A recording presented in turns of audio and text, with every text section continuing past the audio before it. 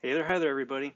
Sorcerer Supreme is now available in crystals, and I'm very eager to try my luck and, and see if I can pull one. So, it's not going to be a crazy anything today. But, um, you know, hope springs eternal. So let's see, let's see how today winds up playing out. So I'm going to start this off with the uh, tried and true pet method. And uh, just spin stuff out, see how that goes. And, uh, you know, hope for the best. Now, my tinfoil hat theory, once again, is that whatever shows up in the reel is not something that I'm going to wind up getting. So the fact that uh, Supreme here is showing up in all their different various rarities is not encouraging to start off, but We'll see.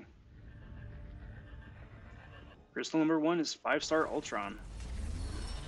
Not a bad start. Not a bad start at all. Spin out another one, see if she shows up again. And if so, then we'll back out and uh, try this again.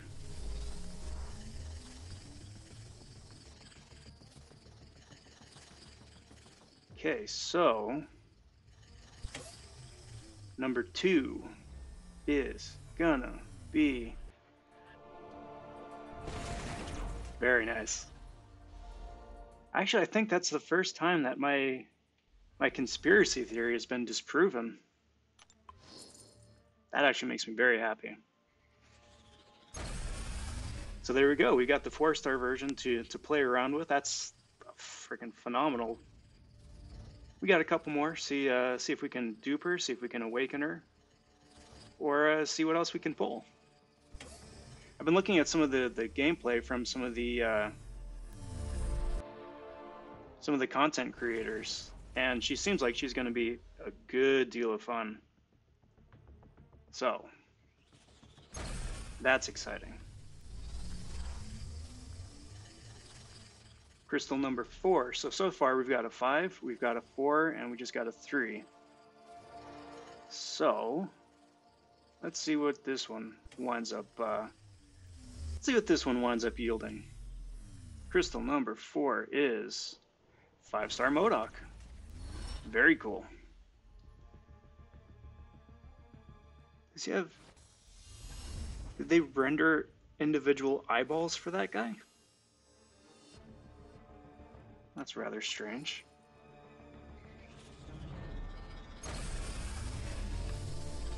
I don't think I'd ever noticed that before, but like on the uh, the dupe for his hollow transparent bit, it looked like they had actually rendered out individual eyeballs for that guy. Strange. But we have fantastic luck here so far today. Fan freaking tastic luck. I will definitely take that. I will definitely take that. And last one for today. Put that on the reel, spin that out. So what do you think, guys? Are you going to wind up going for uh, Sorcerer Supreme here in Arena? You going to go for a 4, go for a 5, go for a 3? I'm pretty tempted. I, I was going to go for a 4. I don't need to do that now, fortunately. May go for a 3. But uh, let me know. And last one. Ooh, that was a tease.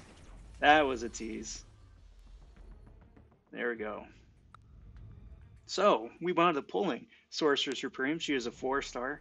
I'm going to be playing around with with her kit there and see what she can do and how she actually plays in the field. Pulled three five stars too. That's that's nutty. And uh, got a three and a, a four star as well. So, not bad.